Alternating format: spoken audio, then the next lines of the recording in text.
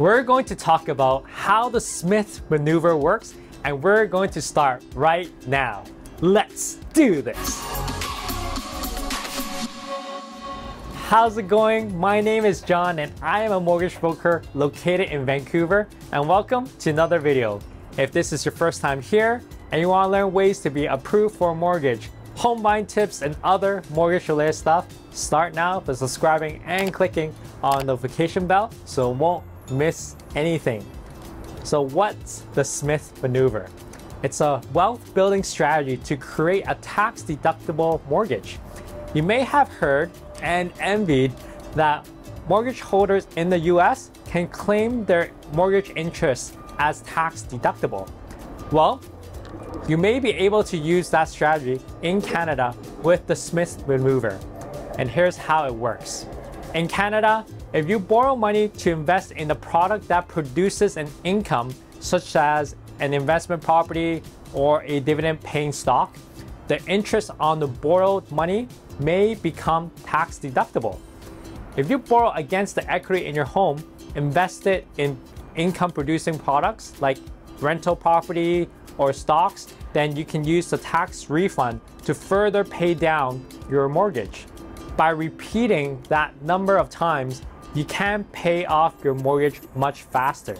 The man behind it all was Fraser Smith, a financial strategist based in Victoria, British Columbia.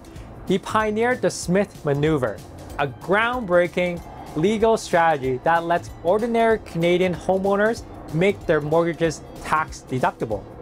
In his work, he saw too many Canadians were waiting until their mortgages were paid off before they started to build an investment portfolio, missing out years of compounding interest and putting themselves in the position of being house rich and cash poor in retirement, unlike his wealthier investors who use tax strategies to grow wealth.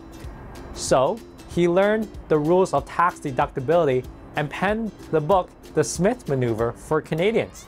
You can Google his book and buy it. In a simplified way, here's how it works.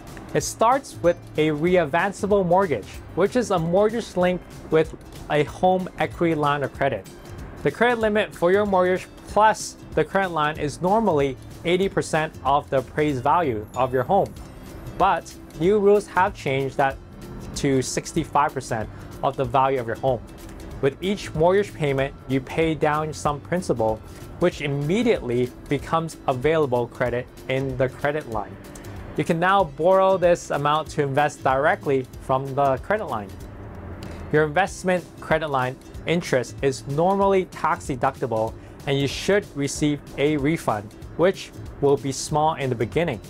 You'll need to keep track because only the interest portion you're investing can be tax deductible.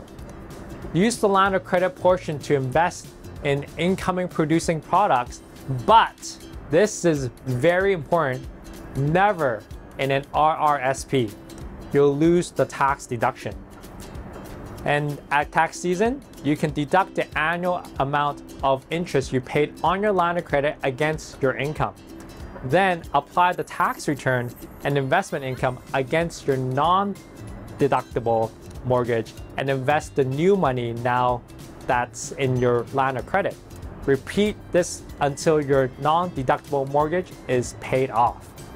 By doing this, you get to build a large investment portfolio without waiting to pay off your mortgage first. You get to quickly pay down your non-deductible mortgage in a hurry and your new investment loan is now tax deductible. To learn more about this strategy and to see if it can work in your situation, comment below or contact me directly. And there you go. We just explained how the Smith maneuver works.